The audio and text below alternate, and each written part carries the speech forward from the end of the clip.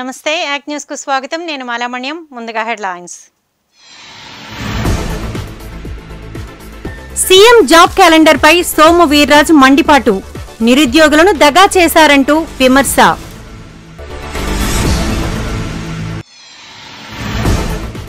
Mega vaccine drive success.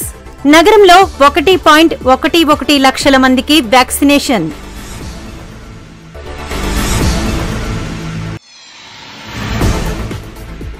Corona బాధితులను ఆదుకోవాలి. డిఆర్ఓకు అఖిలపక్ష నేతల వినతి.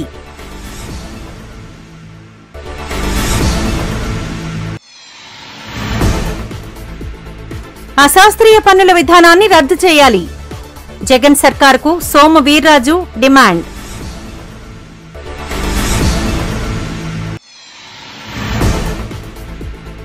ఐక్య ఉద్యమంతోనే ప్రత్యేక హోదా సాధ్యం. చెరసాని శ్రీనివాసరావు ఉద్ఘాటన.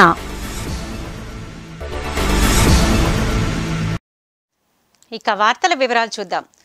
తాజాగా సీఎం జగన్ విడుదల చేసిన జాబ్ క్యాలెండర్పై బీజేపీ రాష్ట్ర అధ్యక్షులు సోము వీర్రాజు మండిపడ్డారు.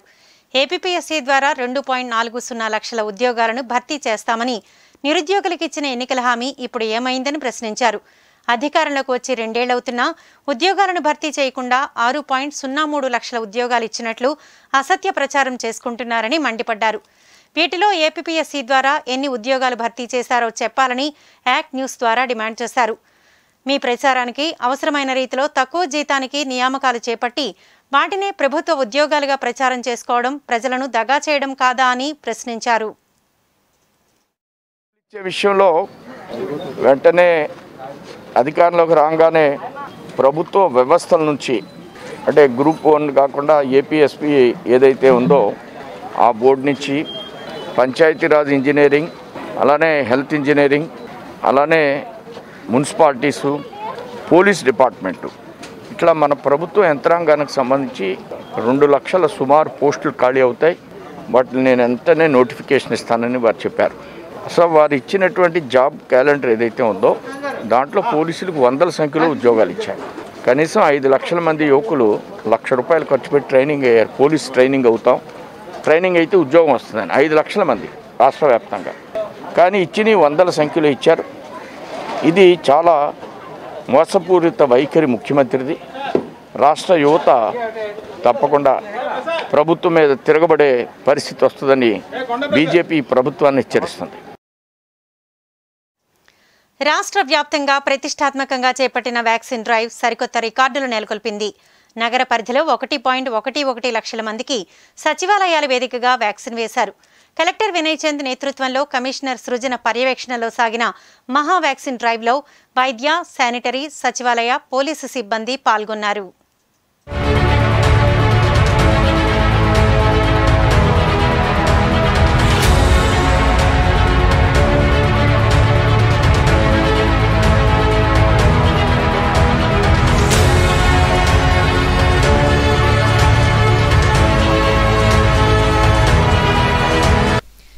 ఆదివారం నగరంలో చేపట్టిన ప్రత్యేక వ్యాక్సిన్ డ్రైవ్ విజయవంతమైందని కమిషనర్ సృజన సిబ్బందికి అభినందనలు తెలిపారు. నగరంలోని అన్ని సచివాలయాల్లో ఉదయం నుంచి రాత్రి వరకు నలభై ఐదేళ్ళు పైబడిన వారికి ఐదేళ్ళలోపు చిన్నారుల తల్లులకు ప్రాధాన్యమిచ్చి వ్యాక్సిన్ వేసినట్లు వెల్లడించారు. ప్రధాన వైద్యాధికారి ప్రజారోగ్య సిబ్బంది వార్డు సచివాలయ కార్యదర్శులు ఉదయం ఏడు గంటల నుండే కేంద్రాల వద్ద ప్రజలకు వ్యాక్సిన్ అందించే ప్రక్రియలో చురుగ్గా పనిచేశారని వైద్యులు అధికారులు ప్రశంసించారు. మహావిశాఖ నగరపాలక సంస్థ మేయర్ గొలగాని హరివెంకటకుమారి పదకొండవ వార్డ్ అల్లిపురం భీంనగర్లోని డిస్పెన్సరీలను సందర్శించి వ్యాక్సినేషన్ తీరును పరిశీలించారు. మరికొంతమంది వార్డు కార్పొరేటర్లు నాయకులు ఆయా వార్డుల్లోని వ్యాక్సిన్ కార్యక్రమంలో పాల్గొన్నారు. రాష్ట్ర వ్యాప్తంగా ఎనిమిది లక్షల వ్యాక్సినేషన్ అందుబాటులోకి తేవడం జరిగింది. దీనికి అనుగుణంగా నలభై ఐదు సంవత్సరాలు పైబడిన ప్రతి ఒక్కరు వ్యాక్సినేషన్ వేయించుకోవాలని ఐదు సంవత్సరాల వయసున్న పిల్లల తల్లులు కూడా వ్యాక్సిన్ వేయించుకోవాలని ఎవరైతే ఫారిన్ కంట్రీస్కి వెళ్తున్నారో ఆ యువత కూడా వ్యాక్సినేషన్ వేయించుకోవాలని తెలియజేసుకుంటున్నాను. రానున్న రోజుల్లో కోవిడ్ థర్డ్ వేవ్ కూడా వస్తుంది వస్తుందని వైద్య నిపుణులు చెప్పడం జరుగుతుంది. దానికి అనుగుణంగా ఒక కుటుంబంలో తల్లిదండ్రులు పెద్దవారు వ్యాక్సిన్ వేయించుకోవడం వల్ల ఆ ఇంట్లో పిల్లలకి కోవిడ్ ఎఫెక్ట్ అన్నది తక్కువగా చూపిస్తుంది. కనుక అందరూ వ్యాక్సిన్ వేయించుకోవాలని కోరుకుంటున్నాను. రా మన ముఖ్యమంత్రి జగన్మోహన్ రెడ్డి గారు రాష్ట్ర ప్రభుత్వం ద్వారా కోవిడ్ పై ప్రతిష్టాత్మక చర్యలు తీసుకుంటున్నారు. కనుక ప్రజలు కూడా అప్రమత్తంగా ఉండి భౌతిక దూరం పాటిస్తూ మాస్క్ వేసుకుంటూ వీలైనంత ఎక్కువసార్లు శానిటైజర్ చేసుకుంటూ జాగ్రత్తగా ఉండాలని తెలియజేసుకుంటూ విశాఖ ప్రజలందరికీ ఒక విశాఖ మేయర్గా విజ్ఞప్తి చేస్తూ సెలవు తీసుకుంటున్నాను. మహా వ్యాక్సిన్ డ్రైవ్ కార్యక్రమంలో నగరంలో లక్ష మందికి పైగా రికార్డు స్థాయిలో వ్యాక్సిన్ వేశారు. అధికారులు తెలిపిన వివరాల ప్రకారం లక్ష పదకొండు వేల ఐదు వందల యాభై ఆరు మంది టీకాలు వేయించుకున్నారు. సున్నా నుంచి ఐదేళ్ళలోపు పిల్లలు గల తల్లులు నలభై ఐదేళ్ళు దాటిన వారు టీకా ప్రక్రియలో పాల్గొన్నారు. ఐదు వందల డెబ్బై ఏడు వార్డు సచివాలయాలు ముప్పై మూడు ప్రాథమిక ఆరోగ్య కేంద్రాల్లో నిర్వహించిన వ్యాక్సిన్ డ్రైవ్లో వైద్య విభాగానికి సంబంధించి ఐదు వందల డెబ్బై ఎనిమిది మంది వైద్యులు రెండు వందల ఇరవై మంది నర్సులు నాలుగు వందల ఎనభై ఆరు మంది ఏఎన్ఎంలు ఆరు వందలకు పైగా ఆశా కార్యకర్తలు సేవలందించారు. అంతేకాకుండా తొమ్మిది వేల మంది వార్డు వాలంటీర్లు నాలుగు వందల ఎనభై నాలుగు మంది శానిటరీ సెక్రటరీలు ఐదు వందల డెబ్బై ఏడు మంది పోలీసు సిబ్బంది పాల్గొన్నారు. ఇంతవరకు జిల్లాలో పదమూడు లక్షల అరవై ఒక్క వేల నూట ముప్పై రెండు మందికి టీకాలు వేయగా వాటిలో మొదటి దశ టీకా పదకొండు లక్షల పదిహేడు వేల నూట డెబ్బై ఒక్క మందికి రెండవ దశ టీకాలు రెండు లక్షల నలభై మూడు వేల తొమ్మిది వందల అరవై ఒక్క మందికి వేశారు. నిన్న వ్యాక్సిన్ అనేది చాలా ఉధృతంగా జరిగింది. పది లక్షలు రాష్ట్ర వ్యాప్తంగా పది లక్షల మందికి వ్యాక్సిన్ వేయాలి అనే ఉద్దేశంతో మొదలుపెట్టింది.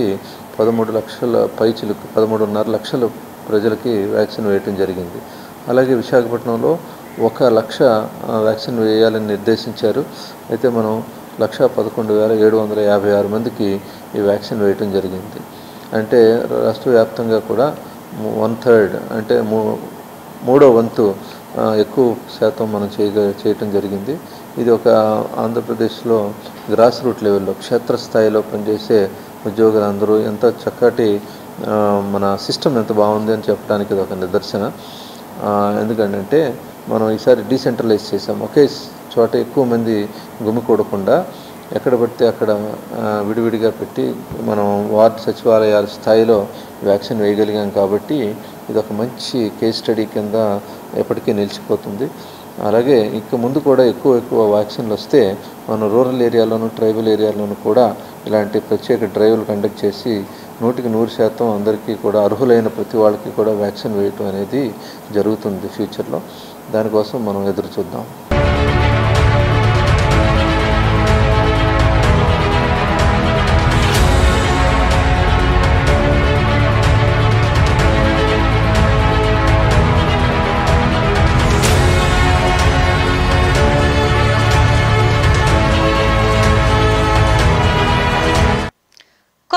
బాధితుల కుటుంబాలకు ఆర్థిక సాయం అందించి అండగా నిలవాల్సిన బాధ్యత ప్రభుత్వంపై ఉందని టీడీపీ విశాఖ పార్లమెంటు నియోజకవర్గం జిల్లా అధ్యక్షులు పల్లా శ్రీనివాసరావు అన్నారు. అఖిలపక్ష నేతలతో కలిసి కరోనా బాధితులను ఆదుకోవాలని కలెక్టరేట్లో డీఆర్ఓకు వినతిపత్రం అందజేశారు. కరోనా విపత్తును ముందుగానే అంచనా వేసి నివారణ చర్యలు చేపట్టడంలో కేంద్ర రాష్ట్ర ప్రభుత్వాలు విఫలమయ్యాయని టీడీపీ విశాఖ పార్లమెంటు నియోజకవర్గం జిల్లా అధ్యక్షులు పల్లా శ్రీనివాసరావు ధ్వజమెత్తారు. కోవిడ్ మృతుల కుటుంబాలను బాధితులను ఆదుకోవాలని కోరుతూ టీడీపీ నేతలు అఖిలపక్ష నాయకులతో కలిసి కలెక్టరేట్లో డీఆర్ఓకు వినతిపత్రం అందజేశారు. ఈ సందర్భంగా ఆయన మాట్లాడుతూ కరోనా విపత్కర పరిస్థితుల్లో ప్రజలను ఆదుకోవాల్సిన బాధ్యత కేంద్ర రాష్ట్ర ప్రభుత్వాలపై ఉందన్నారు. బాధితులకు పరిహారం చెల్లించవలసి వస్తుందన్న ఉద్దేశ్యంతోనే జగన్ సర్కార్ కరోనా మృతుల సంఖ్యను తక్కువగా చూపించిందని విమర్శించారు. ఈ కార్యక్రమంలో MLC Duvvarapu Ramarao MLA Ramakrishnababu CPI రాష్ట్ర సహాయ కార్యదర్శి జేవి సత్యనారాయణమూర్తి తదితరులు పాల్గొన్నారు. తెలుగుదేశం పార్టీ జాతీయ అధ్యక్షులు శ్రీ నారీ చంద్రబాబు నాయుడు గారు ఇచ్చినటువంటి పిలుపు మేరకు ఇక్కడ ఈరోజు మరి జిల్లా కలెక్టర్ వారికి రిప్రజెంటేషన్ ఇవ్వడానికి వచ్చామండి అఖిలపక్షంతో కలుసుకొని. ముఖ్య ఉద్దేశం ఏమిటంటే ఎవరైతే ఈ కరోనాతో చనిపోయారో వాళ్ళకి కాంపన్సేషన్ ఇవ్వాలని అలాగే దహనానికి ఖర్చు ఇవ్వాలని చెప్పేసి సర్టిఫికెట్స్ ఏదైతే చనిపోయినటువంటి ఉన్నారో వారికి నాన్ కోవిడ్ డెత్ కింద వీళ్ళు సర్టిఫికెట్లు ఇస్తున్నారు. అది కాకుండా వాళ్ళకి ఖచ్చితంగా కోవిడ్ టైంలో చనిపోయిన వాళ్ళందరికీ కూడా కోవిడ్ ఇవ్వాలని చెప్పేసి అనేక అంశాలతో ఇక్కడ రావడం జరిగిందండి. దానికి కలెక్టర్ గారు అందుబాటులో లేకపోతే డిఆర్ఓ గారికి ఇచ్చి రావడం జరిగిందండి. మేము కోరేది అలాగే ఫ్రంట్ లైన్ వర్కర్స్కి ఎవరైతే ఫ్రంట్ లైన్ వర్కర్స్ ఉన్నారో వాళ్ళు చనిపోతే వాళ్ళకి కాంపన్సేషన్ ఇవ్వాలని ఇలాగా సుమారు పది పదకొండు డిమాండ్స్తో ఇవ్వడం జరిగిందండి. ఇప్పటికైనా ప్రభుత్వం ఇవి ప్రజలు ఎదుర్కొన్నటువంటి సమస్యలు కరోనా వారియర్స్ కానీ లేకపోతే ప్రజలు కానీ వాళ్ళందరికీ కూడా ఇది కల్పించాలి. మా డిమాండ్లు వాళ్ళకి ఇవ్వాలని చెప్పేసి మేము కోరుతున్నాం ముఖ్యంగా మేము అన్నిటికన్నా ఇంపార్టెంట్ ఏంటంటే డెత్ని వీళ్ళు చూపించట్లేదండి రేపు ప్రభుత్వానికి మేము అన్న డిమాండ్ పది లక్షలు ఇవ్వాలి పాతిక లక్షలు ఇవ్వాలని చెప్పి మేము డిమాండ్ చేస్తున్నాం చనిపోయినటువంటి వారికి ప్రభుత్వం ఏం చేస్తుందంటే అసమర్థతను కప్పు కప్పుపుచ్చుకోవడం కోసం కరోనాతో చనిపోయిన వాళ్ళని కరోనాతో కాదని చెప్పి ప్రూవ్ చేస్తుందండి. ఈరోజు మీరు చెప్పాలి? ఒక సర్వే జరిగింది. ఆ సర్వేలో ఏం చెప్పారంటే ఒకటే థర్టీ ఫోర్ టైమ్స్ ఎక్స్ట్రా వాళ్ళు చనిపోయారు. ముప్పై నాలుగు రెట్లు. ఇంకో స్టడీ అయితే మినిమం ఎనిమిది నుంచి పది రెట్లు ఉన్నట్టు లీస్ట్గా ఏడు నుంచి పది రెట్లు హయ్యెస్ట్ ముప్పై నాలుగు రెట్లు. అంటే జస్ట్ ఇమాజిన్ చేయండి ఇది కరోనాతో చనిపోయినటువంటి అందుకే మేము డేటా ప్రీవియస్ గత పది సంవత్సరాల డేటా తీయండి చనిపోయినటువంటి సంఖ్య. ఇప్పుడంతా చనిపోయిన సంఖ్య చూడండి. అవన్నీ కూడా కరోనా డెత్ల కింద తీయండి మీరు ప్రజలను మోసం చేస్తున్నారు. ఎందుకంటే రేపు కాంపన్సేషన్ ఇవ్వాల్సి వస్తుందని. లేకపోతే వీళ్ళు మేము వీళ్ళు స- సమర్థవంతంగా కరోనాను హ్యాండిల్ చేయలేదనే విషయం బయటకు వస్తుందని చెప్పేసి ఇవి కప్పిపుచ్చుతున్నారు. అందుకే ప్రధానంగా ఈ కా- ఈ పాండమిక్ టైంలో చనిపోయిన అందరినీ కూడా మనం కరోనా డెత్లుగా డిక్లేర్ చేసి వాళ్ళందరికీ కూడా కాంపన్సేషన్ ఇవ్వాలని చెప్పేసి మేము రావడం జరిగింది. జగన్ సర్కార్ విడుదల చేసిన ఆస్తి విలువ ఆధారిత ఆస్తి పన్ను ముసాయిదా నోటిఫికేషన్పై బీజేపీ రాష్ట్ర అధ్యక్షులు సోము వీర్రాజు మండిపడ్డారు. అశాస్త్రీయ విధానంగా దీన్ని అభివర్ణించారు. కరోనా కష్టకాలంలో ప్రజలను ఆదుకోవాల్సింది పోయి పన్నుల పేరిట భారాలు మోపేందుకు సిద్ధం కావడం సిగ్గుచేటన్నారు. ఆస్తి విలువ ఆధారిత పన్ను పెంపు నిర్ణయాన్ని తక్షణమే వెనక్కి తీసుకోవాలని డిమాండ్ చేశారు. లేకుంటే వైసీపీ ప్రభుత్వం దీనిపై దిగి వచ్చేంత వరకు బీజేపీ ఉద్యమం కొనసాగిస్తుందని హెచ్చరించారు. శాస్త్రీయం. ప్రాపర్టీ ట్యాక్స్ ఏదైతే ఉందో దీన్ని మన యొక్క ఆస్తి విలువని ఏదైతే సబ్ రిజిస్ట్రార్ ఆఫీస్తో సమ్మేళనం చేసి దాని ద్వారా ఆస్తి విలువను పెంచాలని. ఇప్పటివరకు మనకి అద్దె మీద ట్యాక్స్ వేసేవారు. ఇప్పుడు అలా కాకుండా ఆస్తి విలువని లెక్కించి వాళ్ళు ప్రతి సంవత్సరం కూడా ఆస్తి విలువను పెంచుతూ ఉంటారు. దాని మీద పన్ను వేస్తే మనం అందరం కూడా చాలా ఇబ్బంది పడతాం కాబట్టి దీని మీద పెద్ద ఎత్తున భారతీయ జనతా పార్టీ ఉద్యమం చేసింది. రాష్ట్ర వ్యాప్తంగా రాబోయేటువంటి రోజుల్లో కూడా ఈ ఉద్యమాన్ని ప్రభుత్వం ఉపసంహరించుకునే వరకు ఈ ఉద్యమాన్ని కొనసాగిస్తుందని మీ ద్వారా తెలియజేస్తున్నాను. రాష్ట్రానికి ప్రత్యేక హోదా ఐక్య ఉద్యమంతోనే సాధ్యమని ప్రత్యేక హోదా విభజన హామీల సాధన సమితి అధ్యక్షుడు చలసాని శ్రీనివాసరావు ఉద్ఘాటించారు. నగరంలోని ఓ హోటల్లో ఆయన మీడియా సమావేశంలో మాట్లాడారు. ప్రత్యేక హోదాపై అన్ని పార్టీల నాయకులు ఐక్య పోరాటానికి సిద్ధం కావాలని పిలుపునిచ్చారు. ఎంపీలు రాజీనామాలు చేయనవసరం లేదని పార్లమెంట్లో ఉంటూనే ప్రత్యేక హోదాపై కేంద్రంతో పోరాడాలని సూచించారు. మీడియా సమావేశంలో సమితి ఉపాధ్యక్షుడు విశ్రాంత ఆచార్యులు గొర్లె అప్పలనాయుడు కూడా పాల్గొన్నారు. జగన్మోహన్ రెడ్డి గారు కేసీఆర్ గారు చంద్రబాబు నాయుడు గారు. బట్ ఒక్క క్యాబినెట్ ఖచ్చితంగా చెప్తున్నాను ఈ కోవిడ్ తగ్గిన వెంటనే ఖచ్చితమైన ఉద్యమం ఉంటుంది. ఇంతకుముందే ప్రాణాలు తగ్గించే ఉద్యమం చేసాం ఖచ్చితంగా తెగిస్తాం. రాష్ట్రం కోసం రాష్ట్ర ప్రజల కోసం అంతిమంగా విజ్ఞప్తి చేస్తున్నాం మేము మీడియా కూడా. మొన్న ఢిల్లీ వెళ్ళిన తర్వాత గౌరవ ముఖ్యమంత్రి గారు ఢిల్లీ వెళ్ళిన తర్వాత మేము ప్రత్యేక తరగతి హోదా గురించి విభజన హామీల గురించి అడుగుతూనే ఉంటామన్నారు. అయ్యా దయచేసి రెండు సంవత్సరాలు అయింది. ఎన్నాళ్ళు అడుగుతూ ఉంటారు? ఆ కబుర్లు చెప్పిన కబుర్లు చెప్తానుంటేనే ప్రజలు వింటా ఉంటారా? ఎలాంటి పరిస్థితులు ఉంది రాష్ట్రం తెలుసు కదా మీకు? మీరు అంటా ఉంటారు సంకీర్ణ ప్రభుత్వం ఇంతకుముందు ఉంది ఇప్పుడు లేదంటున్నారు తప్పు మీరు మీకు ఎవరు చెప్పారు? సలహాదారులు. మనం ఆ రోజు ఏం చెప్పారు మీరు? ఆ రాష్ట్ర ప్రభుత్వం పోరాడాలన్నారు రాజీనామా చేయాలన్నారు. మేము కూడా చెప్పాం. నరేంద్ర మోడీ గారు ఇంటి ముందు ఆ మన ఎంపీలందరూ ముప్పై ఐదు మంది ఎంపీలు నిరసన దీక్ష చేయాలని చెప్పాం. అరెస్ట్ చేసిన అక్కడే ఉండాలని చెప్పాం. మీరు రాజీనామా చేయాలన్నారు. ఈరోజు మీరేం చేస్తున్నారు? మాట మారుస్తున్నారు. ఆ పార్టీ యూటర్న్ తీసుకుంది కాబట్టి ఆ పార్టీకి ఇరవై మూడు సీట్లు ఇచ్చి పక్కన కూర్చోబెట్టారు. ఇంకెంతకాలం ఆ పార్టీని ఈ పార్టీని మాట్లాడదా కూర్చుంటారు మీరు? ఇది సరైన విధానమా? ప్రత్యేక హోదా విభజన హామీలు చాలా ఇంపార్టెంట్ మీరేదో ముగిసిన చాప్టర్ అన్నాడు ముగిసిపోయిన చాప్టర్ అయిపోతుంది చెప్తున్నాను ఖచ్చితంగా. రాష్ట్ర ప్రభుత్వానికి మై హంబుల్ రిక్వెస్ట్ గౌరవ ముఖ్యమంత్రి జగన్మోహన్ రెడ్డి గారు మీరు కార్యక్రమాలు నవరత్నాలు ఏదో కార్యక్రమాలు చేస్తున్నారు కొన్ని బాగానే అమలు చేస్తున్నారు. భవిష్యత్తు తరాలకు మాత్రం అమలు చేయాల్సిన అభివృద్ధి కార్యక్రమాలు కుంటుపడుతూ ఉన్నాయి. తెలుగుగా నేను చెప్తున్నాను జగన్మోహన్ రెడ్డి గారు కేసీఆర్ గారు చంద్రబాబు నాయుడు గారు పవన్ కళ్యాణ్ గారు బట్టి విక్రమార్క గారు రేవంత్ రెడ్డి గారు ఇక్కడ ఎవరు రామకృష్ణ గారు మధు గారు చాడ వెంకటరెడ్డి గారు ఎవరున్నా సరే మా తెలుగువాడిగా కావాలి. తెలుగువాడి ఆత్మగౌరవాన్ని కాపాడుకోవాలి. జిల్లాలో కర్ఫ్యూ వేళలను ప్రభుత్వం సడలించింది. సోమవారం నుంచి నూతన నిబంధనలు అమల్లోకి వచ్చాయి. ఈ మేరకు ప్రభుత్వం ఆదివారమే ఉత్తర్వులు జారీ చేసింది. ఆదివారం వరకు ఉదయం ఆరు నుంచి మధ్యాహ్నం రెండు గంటల వరకు కర్ఫ్యూ అమల్లో ఉన్న విషయం తెలిసిందే. సోమవారం నుంచి కర్ఫ్యూ సడలింపు వేళలను ఉదయం ఆరు నుంచి సాయంత్రం ఆరు గంటల వరకు పెంచింది. ఈ నెల ముప్పై ఒకటి వరకు ఈ సడలింపులు అమలులో ఉంటాయి. సాయంత్రం ఐదు గంటలకే వ్యాపారులు షాపులు మూసివేయాలని harbour ACP Sriramulu Sirisha act news ద్వారా సూచించారు. ఆ సమయం తర్వాత రోడ్లపై అనవసరంగా తిరిగే వారిపై కేసులు నమోదు చేస్తామని హెచ్చరించారు. వచ్చేసి six PM to six AM జరుగుతుంది. బట్ షాప్స్ అన్ని ఫైవ్ ఓ క్లాక్కి కంపల్సరీ క్లోజ్ చేసేస్తారు. సో ఫైవ్ నుంచి షాప్స్ అన్ని క్లోజ్ చేసేసి కర్ఫ్యూ ఇంప్లిమెంటేషన్ అనేది జరుగుతుంది.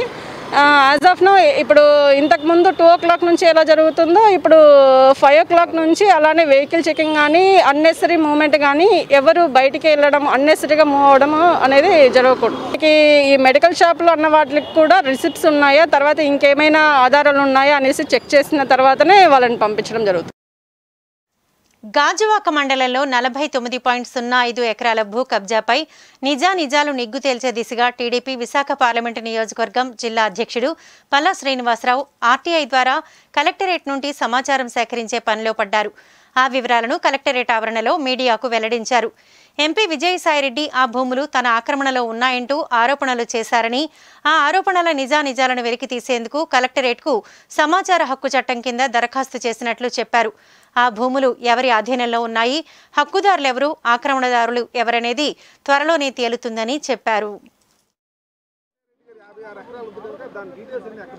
మూడు ఆరు రెండు వేల ఇరవై ఇరవై ఒకటి. గాజువాక మండలంలో నలభై తొమ్మిది ఎకరాల ఐదు సెంట్లు భూమిని కబ్జా చేసినటువంటి తీసుకున్నారని ముఖ్యంగా ఆ నలభై తొమ్మిది పాయింట్ సున్నా ఐదు ఎకరాలు నా ఆధీనంలోనే ఉందని చెప్పేసి వీరు ఒక డిపిఆర్ఓ గారు సైన్ చేయనటువంటి సంతకం లేకుండా వాళ్ళు ఒక ప్రతి పత్రికా ప్రకటన రిలీజ్ చేస్తారు ఎవరు ఆధీనంలో ఉందని లేదు. కానీ మీడియాలో మాత్రం ఖచ్చితంగా అంతా కూడా నా ఆధీనంలో ఉంది నా ఆధీనంలో ఉందని చెప్పొచ్చు. నా ఆధీనంలో ఉందా ఎవరి ఆధీనంలో ఉందో తేలాలి కనుకనే ఈరోజు నేను ధైర్యంగా ఇదిగో ఆర్టీఐ యాక్ట్ వేశాను నలభై తొమ్మిది ఎకరాల ఐదు సెంట్లు ఎవరు ఆధీనంలో ఉంది? దాని హక్కుదారులు ఎవరు? దాని అనుభవదారులు ఎవరు? దాని ఆక్రమదారులు ఎవరు?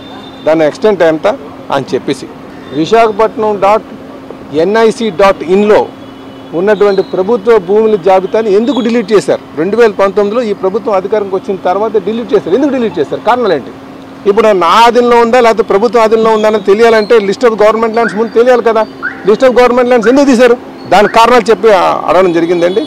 కనుక ఇది ఎవరిని కూడా ఏదో పత్రికా ప్రకటన గాల్లో ఇచ్చేసి మేము ఏదో చేస్తామని చెప్పేసి లేకపోతే ట్విట్ యాభై ఆరు ఎకరాలు ఉందని ట్విట్ పెడితే ఈయనకి హైలైట్ ఏంటంటే పదమూడో తారీఖు వస్తే పన్నెండో తారీఖు ఈయన పెట్టేసే ట్విట్. యాభై ఆరు ఎకరాల ట్విట్. ఇగో ఈయన సర్వే నెంబర్స్ అందుకే చెప్తాను. నేను మళ్ళీ మళ్ళీ చెప్తాను విజయసాయిరెడ్డి గారికి మీకు దమ్ముంటే మీకు సంస్కారం ఉంటే నేను అన్నది ఛాలెంజ్కి మీరు నించోవాలి. అంటే నలభై తొమ్మిది ఎకరాల ఐదు సెంట్లు భూమి నా ఆధీనంలో ఉందని చెప్పారు కనుక మీరు ఓపెన్ ఛాలెంజ్కి రండి. వచ్చి తేల్చుదాం. బహిరంగంగా ఎవరి ముందు విలేకరులు జర్నలిజం అసోసియేషన్ ముందు పెడదాం వైజాగ్ బార్ అసోసియేషన్ ముందు పెడదాం తేల్చుకుందాం. రెవెన్యూ అధికారులు రావాలి. ఎవరు ఆధీనంలో ఉన్నది తేల్చాలి. మీకు దమ్ముందా? నేను శాశ్వతంగా రాజకీయం నుంచి మాట ఎందుకంటే మీకు మాధ్యమాలు ఉన్నాయి కనుక మంచి చెడులు లేకుండా ధర్మాన్ని తెలియకుండా మీరు ఈ ప్రాంతాలకు వచ్చి మీరు స్థానికంగా ఉన్నటువంటి మరి బురద జల్లి రాజకీయ లబ్ధి పొందుదామని ఆలోచన చేస్తున్నారు ఈ మీ పప్పులు ఉడకవు. కప్పరాడ వ్యాక్సినేషన్ కేంద్రాన్ని బీజేపీ రాష్ట్ర అధ్యక్షులు సోము వీర్రాజు సందర్శించారు. వ్యాక్సినేషన్ తీరుపైన అసహనం వ్యక్తం చేశారు.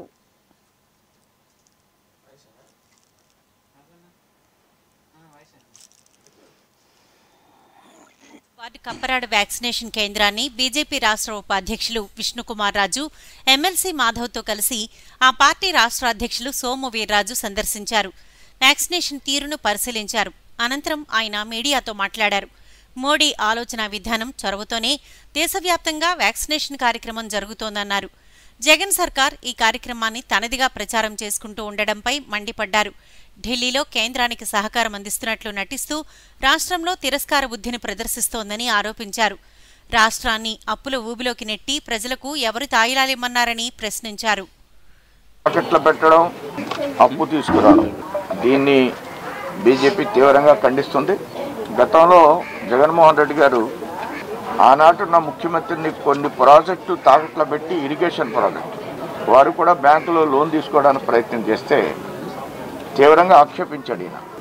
ఆక్షేపించిన వ్యక్తే సేమ్ వైఖరిని సేమ్ ఫినామినాని. వీరు కూడా ఎన్నుకుని ఈవేళ అప్పులు తీసుకుని కాలక్షేపం చేసే పరిస్థితి ఏదైతే ఉందో దీన్ని మేము తీవ్రంగా వ్యతిరేకిస్తున్నాం.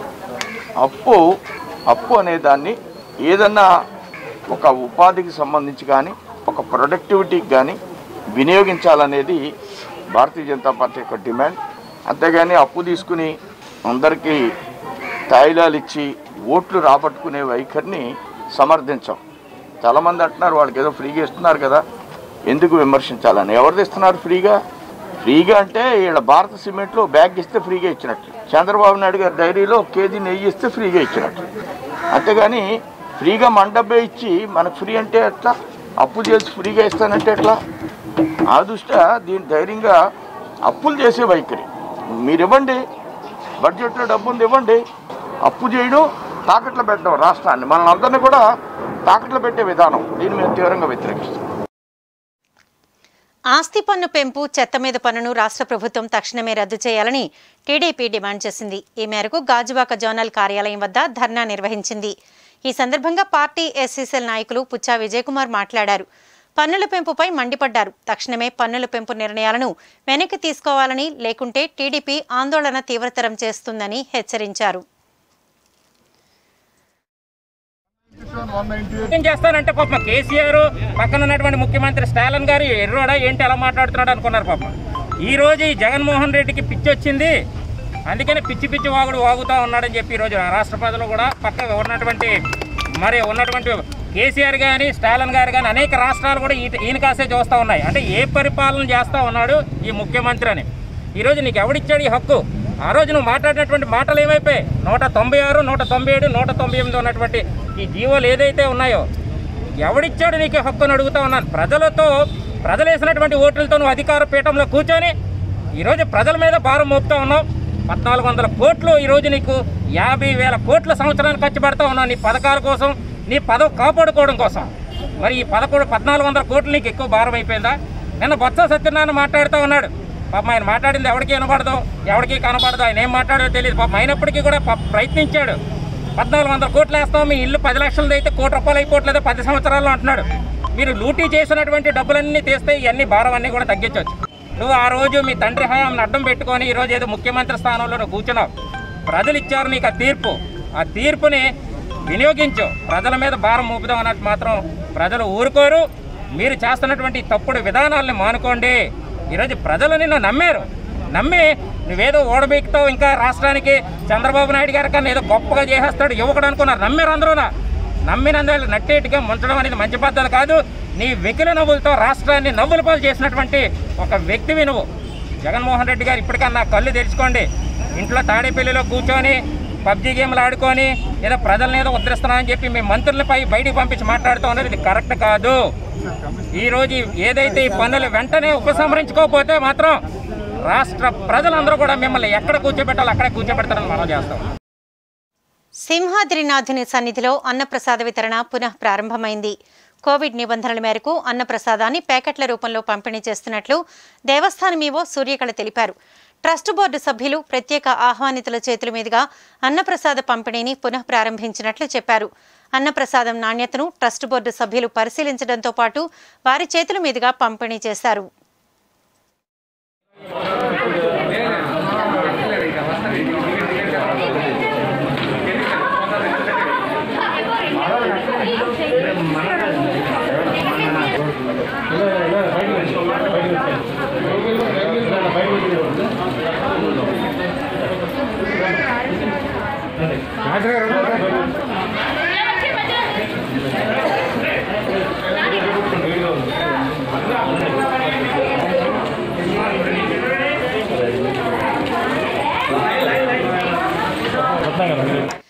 జీవీఎంసీ డెబ్బై మూడు ward Samatanagar Visakha valley bible college ఆవరణలో బిక్కవోలు చారిటబుల్ సొసైటీ స్థానిక పేదలు సమాజ సేవకులకు నిత్యావసర సరుకులు మెడికల్ కిట్లు పంపిణీ చేసింది. స్థానిక వైసీపీ నాయకులు భూపతిరాజు శ్రీనివాసరాజు సరుకులను పంపిణీ చేసి మాట్లాడారు. సొసైటీ సేవా కార్యక్రమాలను అభినందించారు. ఈ కార్యక్రమంలో సొసైటీ సభ్యులు పాల్గొన్నారు.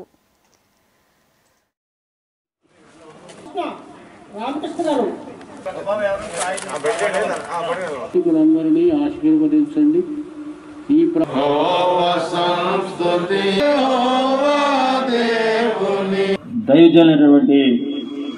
కొంతమంది మిత్రులకి పేదవారికి ఇక్కడ నిత్యావసర సరుకులు అలాగే మాస్కులు ఈ కరోనా సందర్భంగా ఉన్నటువంటి మెడికల్ కిట్లు కూడా మరి పంపిణీ కార్యక్రమం చేసినందుకు అందులో నన్ను కూడా భాగస్వామ్యం చేసేందుకు శామ్యుల్ రాజు గారు వారి కుమారుల్లోకి ముందుగా నా హృదయపూర్వక ధన్యవాదాలు తెలియజేస్తా ఉన్నాను. చాలా సంతోషం.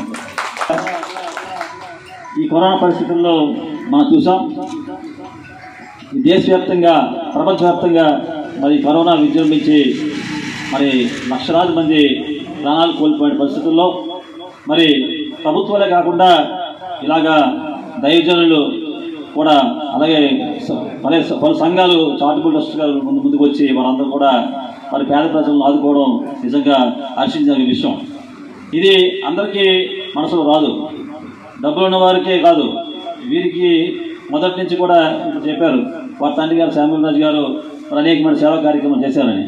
వారు అదే బాటలో మరి వారి కుమారులు కూడా మరి పయనించడం అందరికీ కూడా సమాజంలో వారంతో కృషి చేసినందుకు అలాగే ఈరోజు ఇంత పెద్ద ఎత్తున ఈ పంపిణీ కార్యక్రమం చేపట్టినటువంటి వారందరికీ కూడా ఉదయపూర్వక ధన్యవాదాలు తెలియజేస్తూ కృపను బట్టి ఈరోజు మనందరం సజీవులుగా ఉన్నామంటే దేవుని కృప లేకపోతే ఏ మానవుడు ఈ భూమి మీద బతికి బట్ట కట్టలేడు.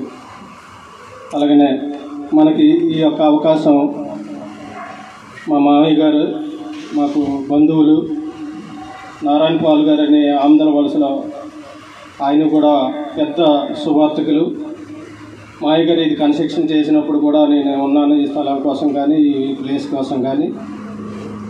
ఆయన ఏంటంటే దైవికంగా ఎవరికైనా ఆదరించే మనస్తత్వం ప్రేమించే మనస్తత్వం అలుపు లేని మనిషిగా జీవించి పిక్కవల్లో సింగంపల్లిలో ఆయన పెద్ద సంస్థలు ఏర్పాటు చేసి బైబిల్ కాలేజీలు పెట్టి ఉచిత విద్య పెట్టి ఎన్నో సంస్థలు ఏర్పాటు చేసి ఈరోజు మన మధ్య లేకపోవడం మనకి ఎంతో దురదృష్టం. గతంలో ఈ సంవత్సరంలోనే కరోనా వల్ల కొంత ఆయన మనకు దూరం అయ్యారు అయినా ఎవరు దూరమైనా మనం అక్కడికి వెళ్ళేది అది ఒకటే శాశ్వతం. ఈ భూమి మీద ఎవరికి కూడా శాశ్వతం అనేది ఏమీ లేదు. ఏది చేసినప్పటికీ మాయ గారు ఆయన కష్టంలో ఉండేటప్పుడు నీకేం కావాలి రాజారావు నీకేం కావాలి అల్లుడు అనే వ్యక్తే తప్ప మా ఇంటికి వచ్చారు మీరు ఏం తెస్తారు? మీ ఇంటికి వస్తే మేము ఏం తేవాలనే సిద్ధాంతం మాత్రం ఆయనలో ఎప్పుడు కూడా సింహగిరిపై అప్పన్నస్వామి హుండీని లెక్కించారు. ఈవో సూర్యకడ పర్యవేక్షణలో ఆలయ సిబ్బంది బేడా మండపంలో స్వామివారికి సంబంధించిన ఆరు హుండీలను లెక్కించారు. ముప్పై ఒకటి పాయింట్ ఎనిమిది తొమ్మిది లక్షల నగదు నలభై ఒక్క గ్రాముల బంగారం నాలుగు పావు కేజీల వెండి కానుకల రూపేణా సమకూరాయి. వీటితో పాటు యుఎస్ఏ డాలర్లు సూడాన్ దీనార్లు ఇంగ్లాండ్ పౌండ్లు కూడా హుండీలలో లభించాయి.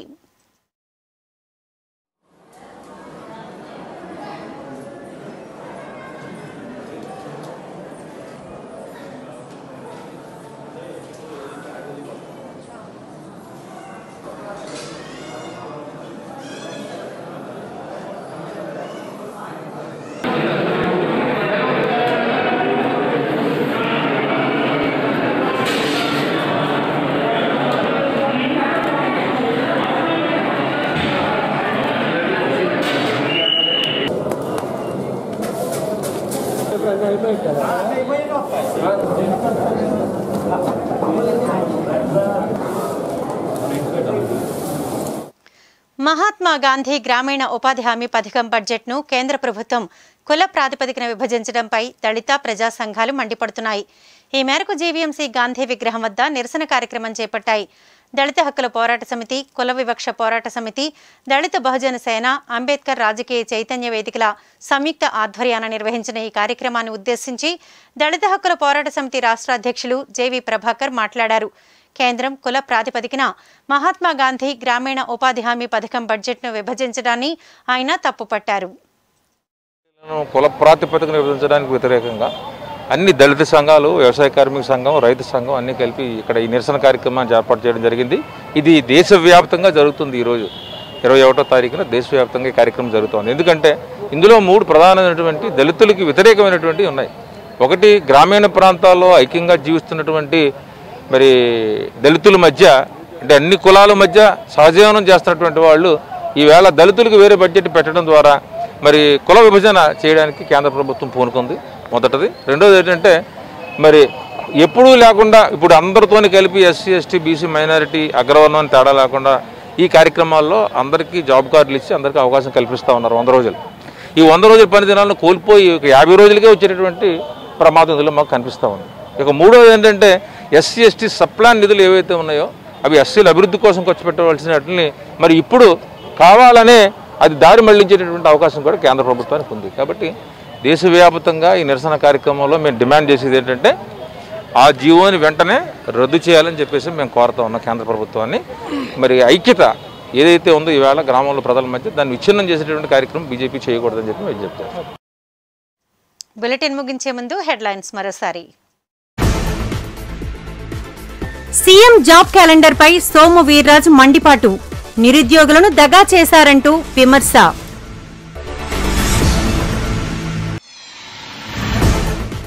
Mega vaccine drive success. నగరంలో ఒకటి పాయింట్ ఒకటి ఒకటి లక్షల మందికి వ్యాక్సినేషన్.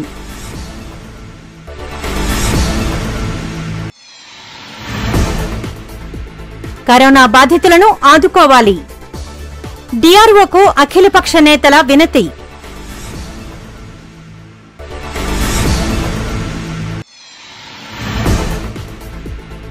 అశాస్త్రీయ పన్నుల విధానాన్ని రద్దు చేయాలి. జగన్ సర్కార్కు సోము వీర్రాజు డిమాండ్.